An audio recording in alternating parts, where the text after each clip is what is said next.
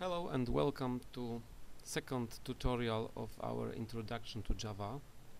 In this tutorial we will uh, write our first Hello World program but we will do it in simple notepad, not in graphical integrated development environment which we will use in next lessons.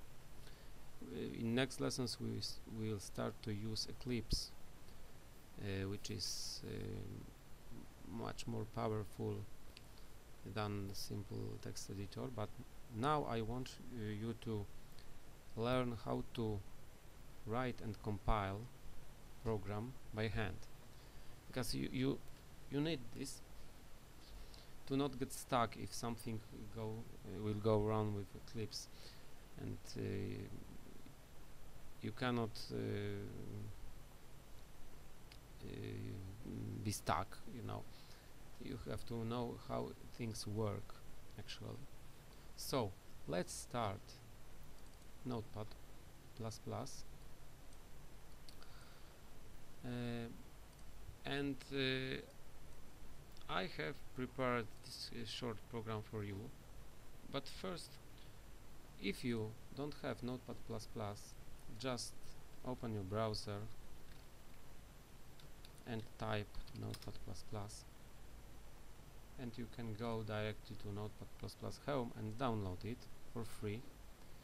It's a very nice replacement for Windows Notepad you know. It has much more features.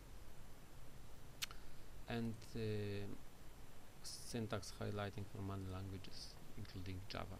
So the first thing we should do okay let's start from scratch is to save our file uh, as uh, hello java. Let's name it hello java. And uh, everything is in java is inside a class. So we need to define a, a public class.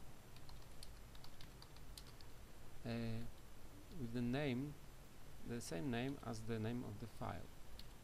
So if we name the file hello, we need to define public class hello. Enter and in the next line we type two curly braces, enter, enter and tab. So we have uh, four space indentation and uh, for clear clarity of this program it is very good in this line you start to type uh, your first method so public static void main string tab string uh, array args. We'll not talk about this now but we'll talk about it uh, those uh,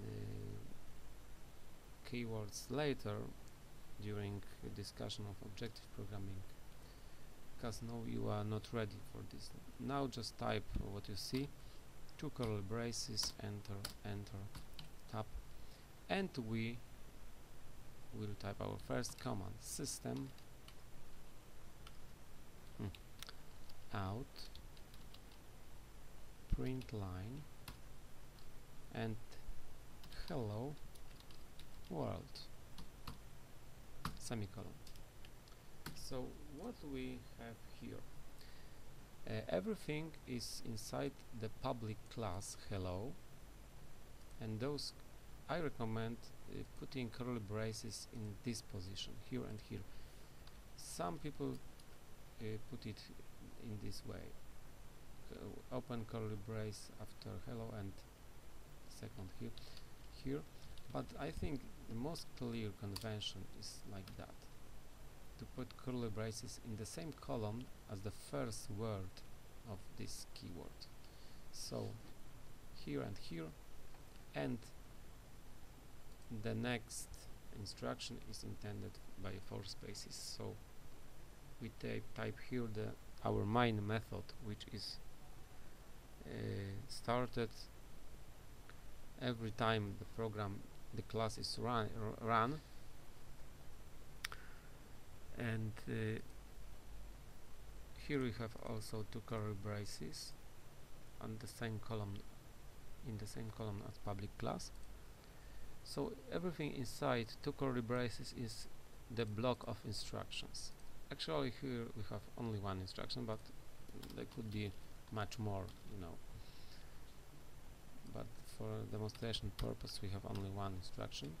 And this instruction tells us that we have to we want to print a line of text at the system console. So system out print line uh, hello world and semicolon. Semicolon is required after all instructions. So we have to put it here. Okay now we can compile this file. So open the command prompt cmd. Go to the directory directory well where we save the file so cd backslash we go to the root, root directory cd java and dir, dir. Now we have our hello java program. Now we can compile it typing javac hello java. Okay dir. And now a part of hello java we have also hello class file. And this is compile java program. You can run it on every system where the java virtual machine is running. So you can take this hello class file and run it on linux windows mac everywhere and on each system where the java runtime environment is installed. So now we will run it. To run it we have to type java hello without the extension class. So just java hello. And bang, we see hello world. So the program is doing what we expected. Just printing the line of text.